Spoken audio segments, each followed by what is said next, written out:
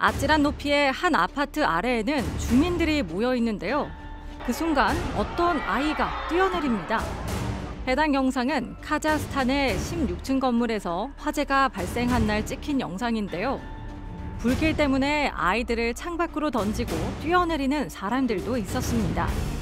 현지 시간 1일 오후 카자흐스탄 최대 도시 알마티의 16층 아파트 건물에서 화재가 발생하면서 주민 수백 명이 대피하는 일이 벌어졌습니다.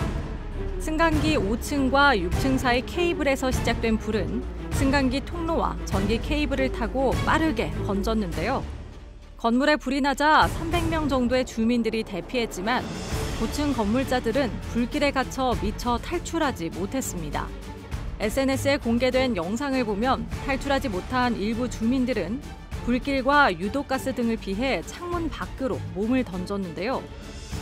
다행히도 아파트 밖에 모인 주민들이 매트리스를 들고 그들을 받아내면서 구조했습니다.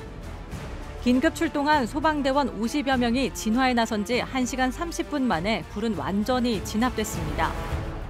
건물에서 몇 명이 뛰어내렸는지 알 수 없지만 알마티시 공중보건당국은 이번 사고로 어린이 26명과 2명의 임산부를 포함해 모두 43명이 다쳤으며 여성 1명이 다중부상으로 끝내 사망했다고 밝혔습니다.